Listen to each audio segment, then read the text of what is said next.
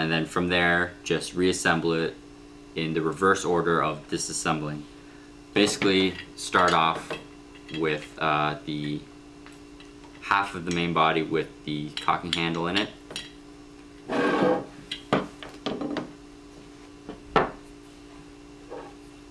Start in by putting the uh,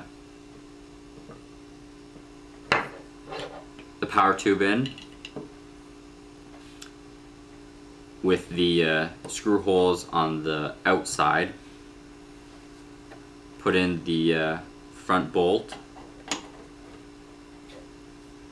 then the barrel housing and that's pretty much molded so you can't really put it in wrong. Put in your uh, your expansion chamber plug with the grooves to the bottom so that it kind of looks like it's a part of the main body. And then insert your back bolt so that uh, all the holes on the cocking handle and back bolt kind of line up.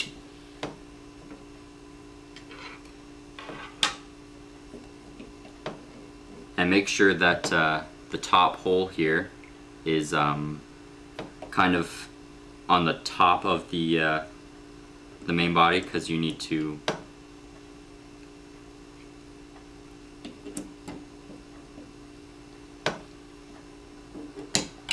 you need to insert this retaining bar attaches to the front bolt and the back bolt so that they're kind of one movement. And you can see there, if I pull it or move it at all, the front one moves as well. Make sure the holes are lined up. Take your back block with your uh, cocking spring and bolt, or spring and pin, and uh, make sure that the head of the pin is inserted into the uh, middle of the back block and uh, make sure your black o-ring is around it as well. Insert uh, the spring into the silver part at the back bolt and then just kind of clip it on there and also it's molded so pretty much that's everything take your uh, paintball detainer little plastic piece here and uh, just kind of fit it into the mold that it's meant to. And then take your other half of the uh, the body and pretty much just clip it on there. Everything if everything's in there right, then you'll know because there will be no gaps around the edges. And you'll hear a bit of a click when you put both pieces together. So then you know it's all correctly done. Uh, start off with the two valve screws on the, uh, the one side of the main body just to get them out of the way so you don't forget them.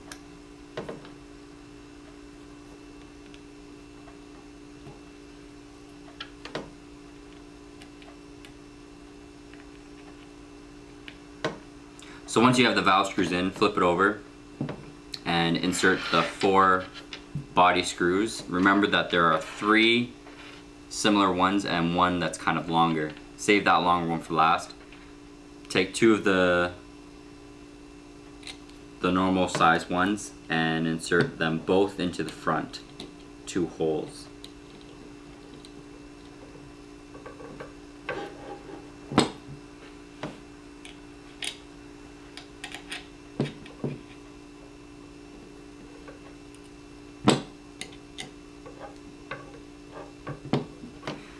Take the third one and put it in the top rear hole.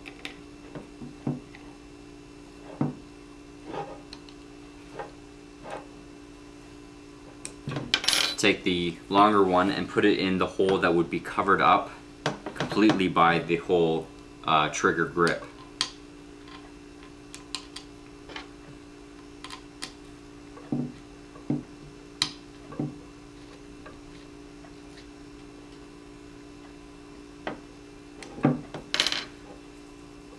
Once you have that together, this piece shouldn't come apart at all. And then from there you can assemble the uh, trigger grip to the main body. Uh, pretty much just put it on so that uh, front is first and then the back will just clip on. Insert the two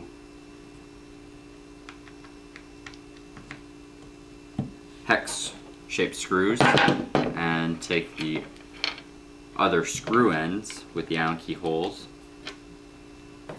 and make sure you hold the back so that it doesn't pop out and then just screw them in.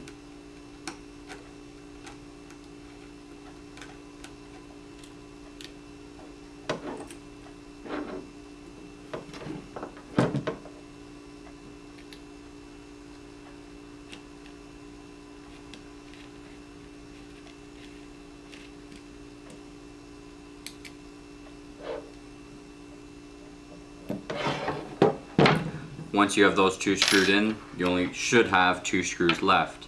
Uh, the long and the short one that would attach the adapter to the bottom of the grip.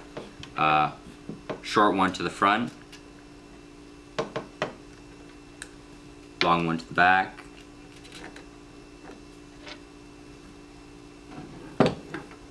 Then just screw those in.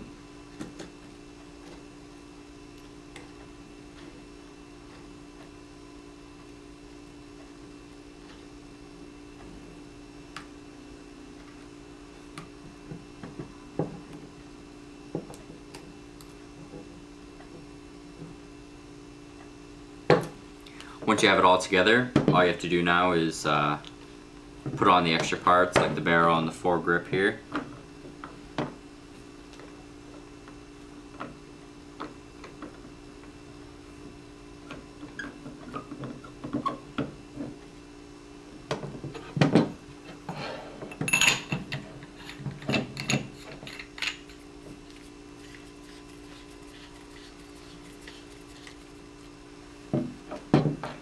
The uh, hopper neck. Again, push in the little nipple at the bottom and just slide it on. Make sure that it's actually covering the hole on the side of the body. And then just slip on your rear sight and tighten it up with your Allen key.